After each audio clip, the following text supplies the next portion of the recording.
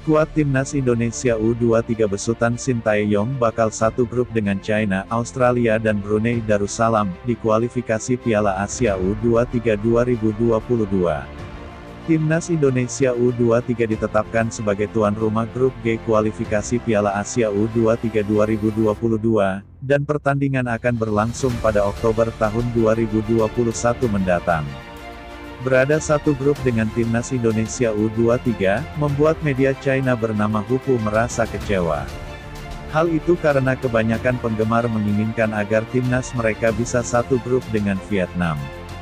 Media tersebut mengklaim kalau pasukan muda Sintayong jauh lebih hebat dari skuad muda Vietnam. Bukan tanpa alasan, rupanya media China telah mengetahui adanya beberapa pemain Indonesia yang meruput di Eropa seperti Egi Maulana Fikri, hingga Witan Sulaiman.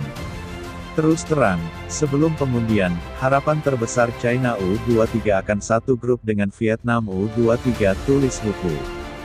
Fans China berharap mereka akan berada di grup yang sama dengan Vietnam U23 untuk mengalahkan kesombongan mereka. Dalam beberapa tahun terakhir, kekuatan pemain muda Indonesia lebih kuat dari Vietnam. Indonesia memiliki beberapa talenta muda yang bermain di Eropa. Indonesia U23 adalah tim dengan persiapan terbaik di turnamen kualifikasi U23 Asia. Selain itu, pemain dan pelatih Sintayong juga memiliki keunggulan di lapangan. Pemimpin Korea telah menerapkan strategi, perubahan darah, skala besar dan menerapkan taktik yang sangat baru untuk Indonesia U23 imbuhnya. Saat ini pelatih timnas Indonesia, Shin Tae-yong masih berada di Korea Selatan.